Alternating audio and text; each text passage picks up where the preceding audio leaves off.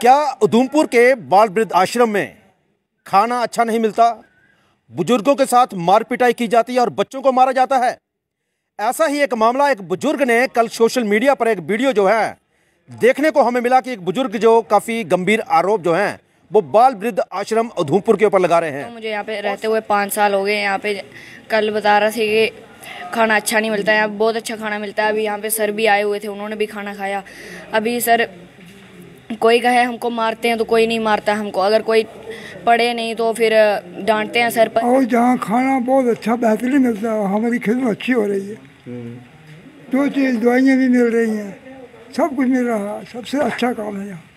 तो पता नहीं उनको क्या गलतफहमी हुई या क्या कारण हुआ कि ऐसे ही कल हम हैरान हो गए वो देखकर कि ऐसे ऐसे भाई वृद्धाश्रम में ऐसे हुआ हम भी हैरान हो गए भैया क्या। आरोप लगाए गए हैं लेकिन हम सच्चाई जानना चाहते थे।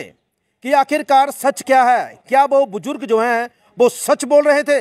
लेकिन हमने भी यहाँ पर आकर, यहाँ अंदर आकर ये सच्चाई जो है, उसे जानने का प्रयास किया। बाल आश्रम में यहाँ का खाना जो है, वो खा रहे हैं देख रहे हैं कि आखिरकार क्या कमी है इस खाने में? देखिए, हमें इस खाने में कोई कमी नहीं लगी। जिस तरह हम घर में खाते हैं, वैसा ही खाना है, बिल्कुल सादा और पौष्टिक। और आखिरकार क्यों अब उस शख्स को खाना पसंद नहीं आया? या कोई चाल थी अब तो वही जानते हैं। सत्य कहेंगे सत्य लिखेंगे सत्य चलेंगे। एक बुज़ुर्ग जो काफ़ी गंभीर आरोप जो हैं वो बाल वृद्ध आश्रम उधमपुर के ऊपर लगा रहे हैं। और सच्चाई क्या है यह जानने का प्रयास दैनिक श्रेष्ठ समाचार ने किया और हम यहाँ पे पहुँचे हैं।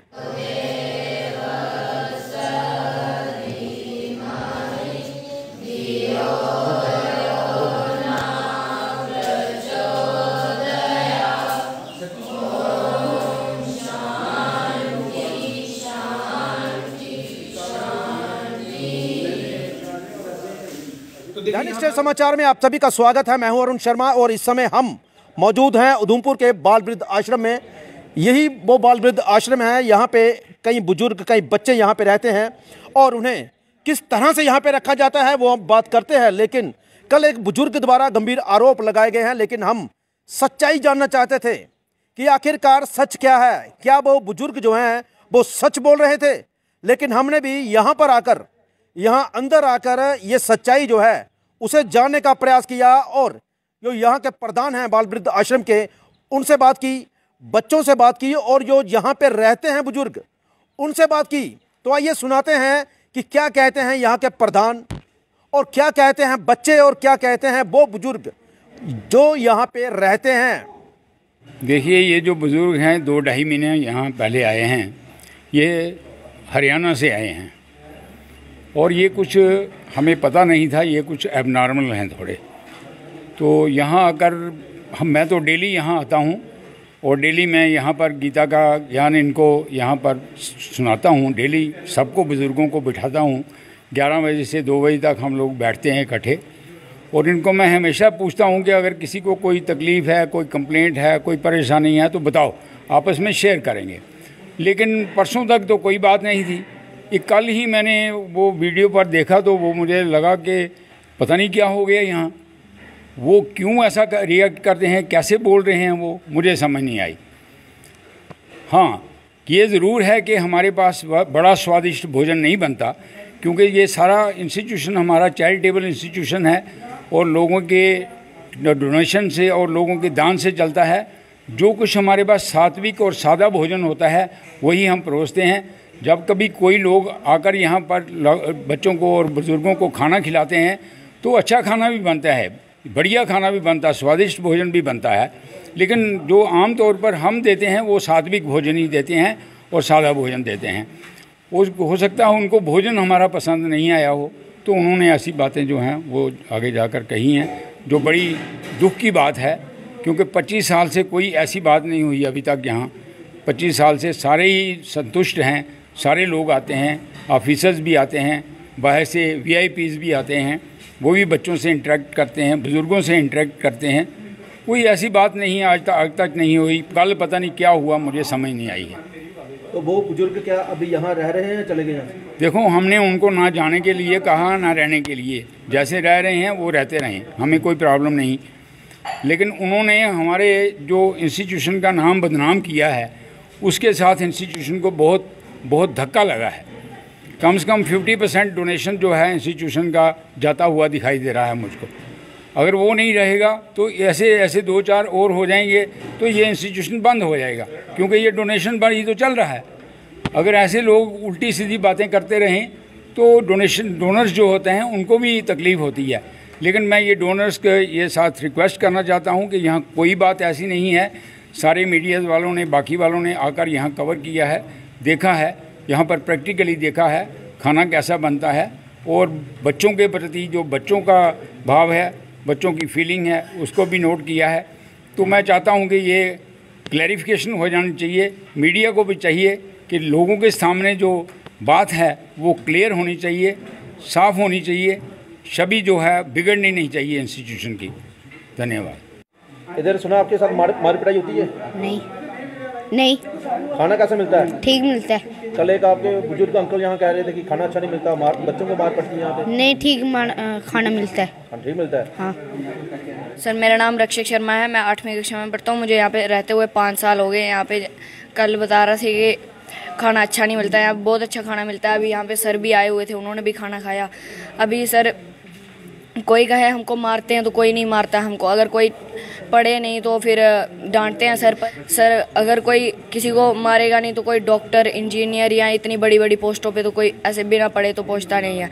जो जो पहुँचे हुए हैं उनको पता होगा कि कैसे पढ़ते हैं और अगर डांट ना पड़े या फिर कोई मारे, मारते तो वैसे नहीं है। अगर डांट ना पड़े तो फिर बच्चे थोड़ी ना पढ़ पाते हैं। यहाँ आश्रम का कैसा माहौल है? किस तरह से ट्रीट किया जाता है आपके साथ? सर बहुत अच्छा ट्रीट किया जाता है। हमको हर एक चीज़ मिलती है। हमको जो जिस चीज़ की डिमांड हो वो चीज़ हमको हर चाय मिल जाती है। मास्टर सज्जू राम खजूरिया और मुझे अट्ठाईस साल रिटायर हुए हो गए हैं। मैं बच्चों को नवोदय विद्यालय के लिए टीचिंग मतलब कोर्स करवाता हूँ। और जहाँ पर स्कूल में इधर ही मैं क्लास लेता हूँ। दो तीन महीने की फ्री ऑफ़ कास्ट कोई पैसा नहीं, बच्चों से लेता हूँ और उनके साथ मैं खाना भी खाता रहता हूँ इस रसोई में आकर। और खाना तकरीबन अच्छा होता है, बहुत ही बढ़िया होता है, बाकी सादा खाना है।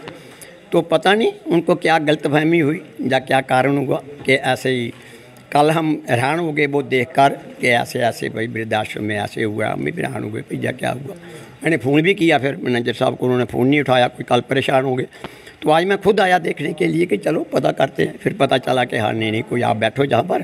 तो आज ऐसे ऐसे आ रहे हैं। चलो जब हम बैठते हैं। लेकिन जी क्या हो गया? तो ये है हम मैं तो यही कहूँगा कि बहुत बढ़िया है जहाँ पर चल रहा है। चल रहा एक आदमी के क्या हाँ।